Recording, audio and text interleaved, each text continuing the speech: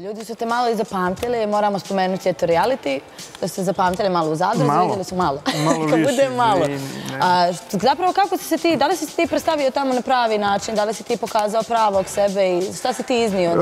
E, iskreno, ja nisam nimao cilj tamo sebe da predstavljam na ovaj ili onaj način. Svako kaže da ulazi kao da predstavim sebe, boli nekog uvo ko gleda TV da predstaviš tebe. Šta gledalac ima od toga da ti si NN i sad kao ja ću ja predstavim sebe, super, bit će tvoja mama, tata ponosni.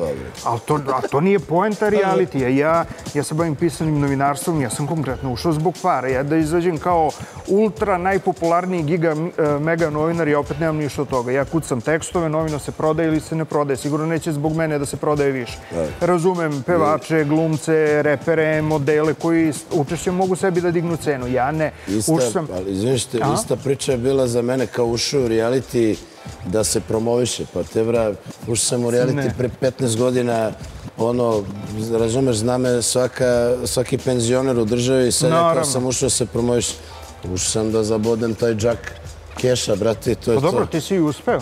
Pa ja sam prošao bolje nego pobjednik, ali nema veze, brate. Pobjedniče. Pa to, pa kažem, uspeo si, Džak je pa bio tvoj, ali znaš šta, to je bilo vreme kad je reality trajao koliko, 3-4 mjeseca, nešto. Boga mi ovaj 9 mjeseci, bilo je pakleno, brate. Tebi je to delovalo oko 3-4 da, pa da si brojao moje dane i ove. A isto moram da spomenem, izvini što te prekidam, ali e, dosta su se bojali ti za drugare kad si ti ušao, zato što si realno čovjek sa informacijama. Ja jesam imao informacije, ali nijednog momenta moj E, razlog ulaska nije bilo tamo da ja njih rešetam, da ja njima objasnim sad ko tu kosi, ko vodu nosi. Ja sam ušao i bio sam prirodan, pogotovo u prvih mjesec dana. Sve što se dešavalo unutra, ja ti potpisujem zato što sam bio unutra, je apsolutni fake. Ljudi se bore za opstanak, pogotovo u prvih nedlju dana, 90% njih je bilo NN ličnosti ti moraš na neki način da privučeš te gledalce da glasuju za tebe bilo šta da uradiš. Bilo da su uh, nervni slomovi posle 24 sata. Važi, ne postoji. Uh, ljubav posle dva dana važi. Kao da smo svi bili, ne znam, godinu dana u nekim zatvorima željni i onih i odnosa i čega sve ne i onda sad kao gledam da se zaljubim za dva dana.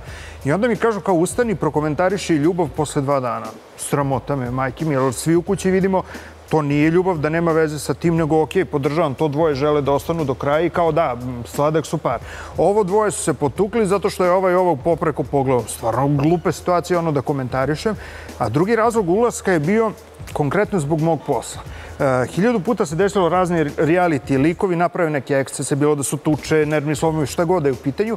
I ti njega pitaš, dobro, zašto si to uradio? I svi kao, jao, pa ti ne znaš kako je u reality, kamera izvuče iz tebe ono najgore, to je kao sudilo, Ja kao, okej, i tu me uvek ono stave na stop.